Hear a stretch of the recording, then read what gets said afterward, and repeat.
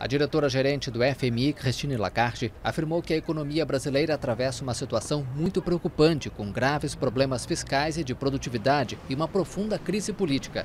Lagarde salientou que, apesar da reputação de ser um lugar ensolarado e quente, há ventos muito, muito frios soprando no Brasil. A afirmação foi feita durante uma coletiva de imprensa nas reuniões de primavera do FMI e do Banco Mundial.